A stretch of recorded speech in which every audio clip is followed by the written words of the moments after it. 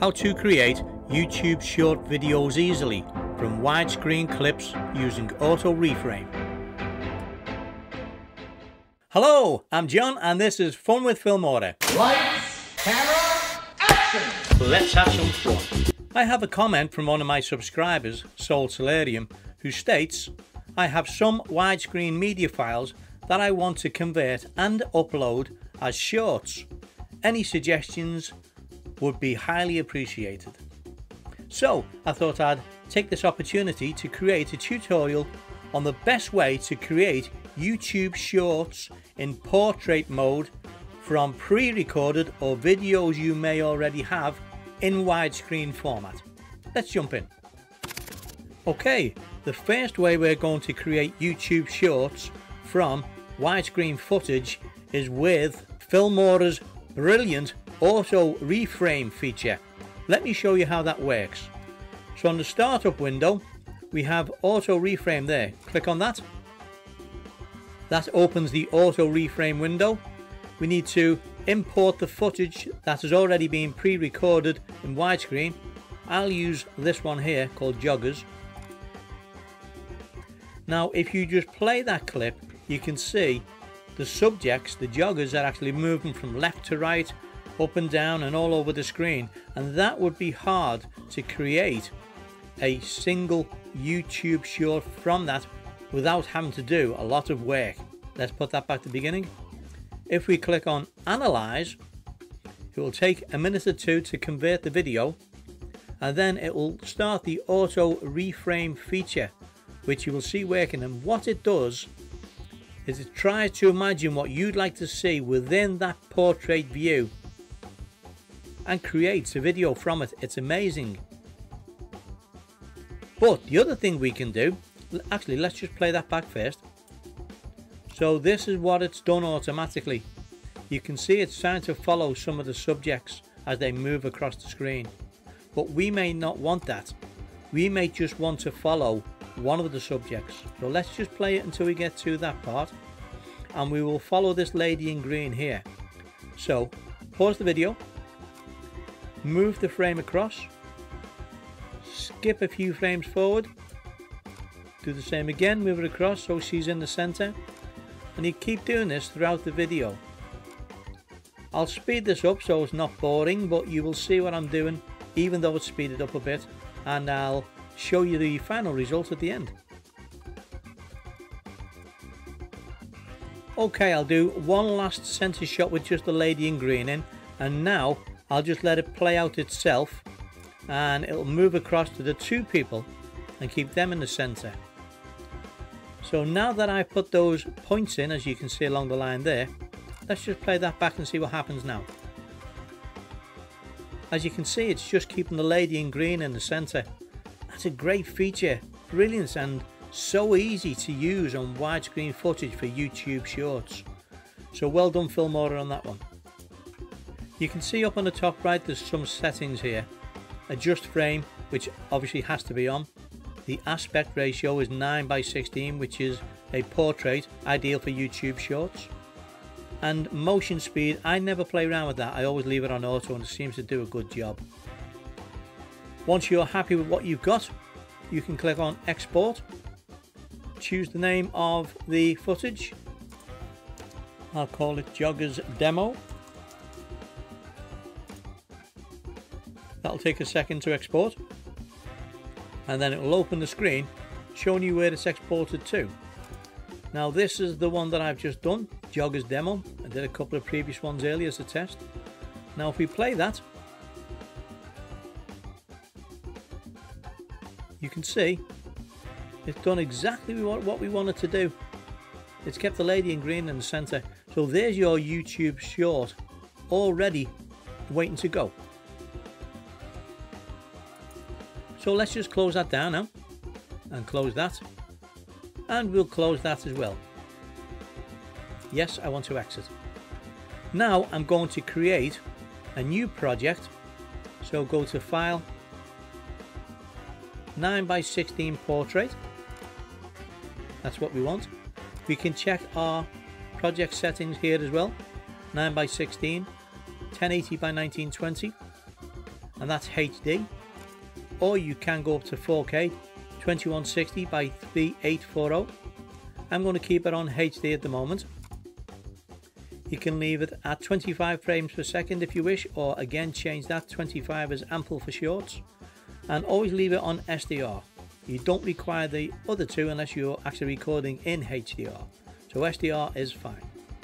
Click on OK and now I'm using Filmora 12 and I highly recommend to download Filmora 12 especially now that it's a free upgrade because you get to choose your layouts. At the moment we're looking at a widescreen layout but we want to create a portrait YouTube short. So let's go up to our layout section and choose the short video. And you can see there the resolution is still 1080 by 1920 and 25 frames per second. Let's just import the footage we've created. If I can find it, of course. Okay, Joggers demo. Click open. Drag that onto the first track. We'll keep the project settings. And you can see when we play that, that fits in perfectly into a YouTube short portrait style view. So that's the best and easiest way to create your videos from widescreen and to convert them into YouTube short style portrait videos.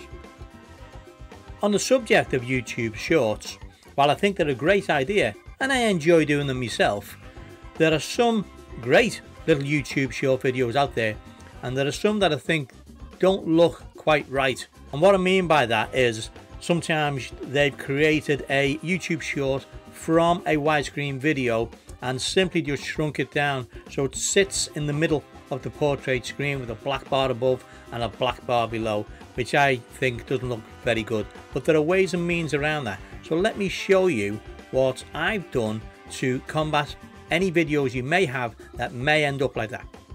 If you haven't already downloaded Filmora you can do so for free by clicking on the link in the description, so why not give it a go?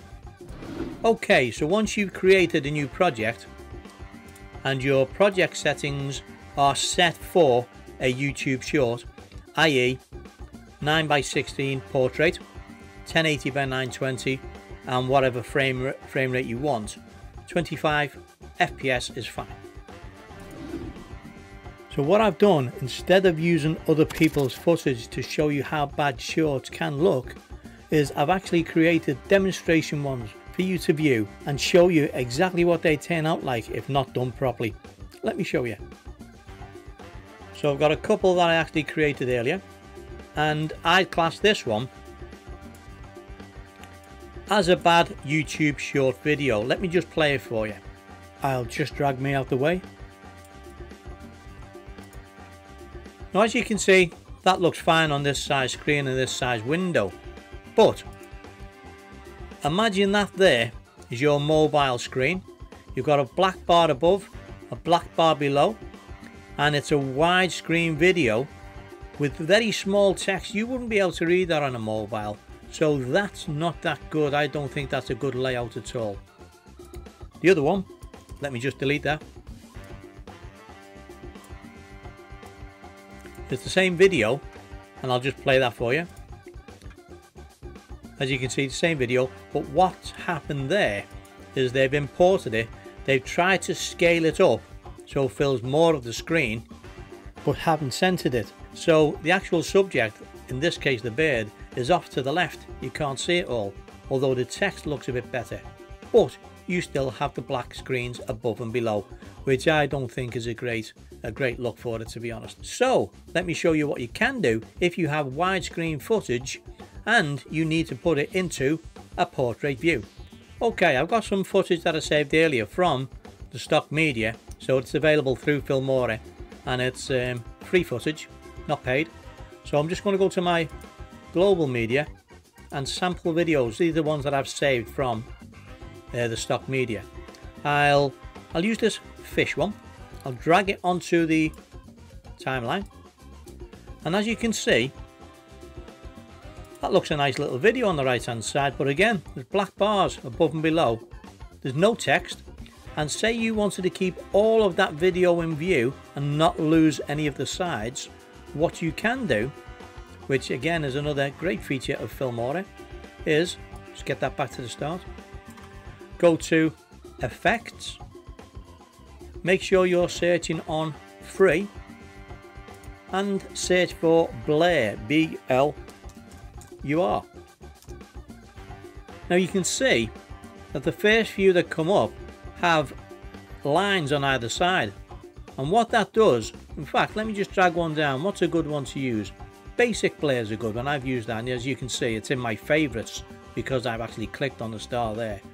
What you do is you drag it above your footage and I'll make it the same length as my video clip and it puts a nice little effect above and below the video. Takes away that black. We've got a couple of black bars there on either side, so let me just pause that. I'm going to resize the original video simply by clicking on it and then either dragging the handles or using the scale on the left hand side. I'm just going to drag the two scale lines. It's locked so both X and Y will drag at the same time. I'll get rid of those black lines and you can actually make that footage full screen if you want to fit the full screen. Again, you can move it left and right, right by simply dragging or utilizing the y-axis, sorry, utilizing the x-axis, not the y-axis, apologies there, to get a nice shot that you want. Okay, let's go back to the start of the video, see what that looks like. See, that looks nice. And because the quality of the video is quite good, by increasing the scale it hasn't done any harm to the quality at all. It looks really nice. And again you can play around with this. You can actually drag the video up down across until you're happy with one of the views. Let's have a look what it looks on the looks like on this side. Put that in frame. Okay click play yeah that's quite nice so that's a good way of doing it so let me just undo most of that by pressing Ctrl Z and I'm just going through all the things that I've done so far. Control Z takes it back one step at a time. Okay, I'll just resize it back to the screen to get rid of the black bars. And let's try some of the other blur effects. Um, let's have a look at, we'll get rid of the basic blur. Put it back to the beginning. And let's have a look at grey. Hmm, looks a bit strange, we'll play that. No, don't like that one. You may, and it may work well in other videos, but not for this one. Diamonds, let's have a look at that effect. That's not too bad. Um, not my style, but you know, it's better than having two black bars. It looks much nicer. And don't forget, you can always drag it to the length of your clip so it runs the full length of your video. Okay, let's also have a look at um, what's another nice one? Slant Blur. That sounds interesting. Okay. And again, we'll drag it the full length of the video. It's not too bad. But again, there's so much going on in the video. I think with this type of video, plenty of fish swimming around, I think the basic blur is probably the best. It doesn't distract you from actually watching the video. And then once again, once you've got your video, what you can do is add text to it. And the beauty about this is, if you have blank space above and below, you can add text there. So let me just add a standard title above, make that the same width. Okay, we'll change the text to just say, this is a demo video. I'll move it up by clicking and holding and I'll change the font itself to Audiowide regular and I'll change the size. There's two ways of changing the size of the font. You can actually change it here by increasing or decreasing but what I like to do is give you a better control over the size in the screen is by clicking and dragging the handles and you're basically doing the same thing increasing the font but you get better control over it so the font is now 68 So as you can see now you've got a nice little video, YouTube short, text and a little video underneath. And again, as we did before, we can increase the size of this to fill the screen, top and bottom, and the text stays in quite nice. So let's just replay that again. Take it back to the start and play it again. That's a nice little video. I might use that. but no, you understand what I mean.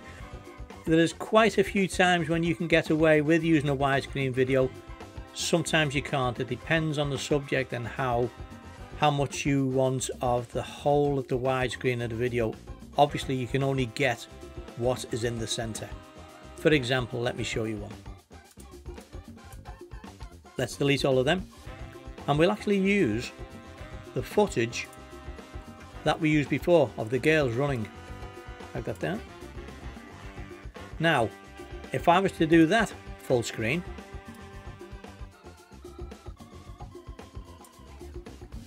and play it. Doesn't look too bad. But see there, blank space. And to get it to do what the auto reframe did initially, you'd have to do all sorts of keyframes and it would take quite a long time. But how quick and easy was that auto reframe? So if you can use auto reframe, use it. That's my advice. Well, I hope you enjoyed that tutorial and if there's a tutorial that you'd like me to do for you, please let me know in the comments below and I'll see what I can do. Don't forget to like, subscribe and click on the notification bell. I really would appreciate it. Thanks for watching. Now go have some fun.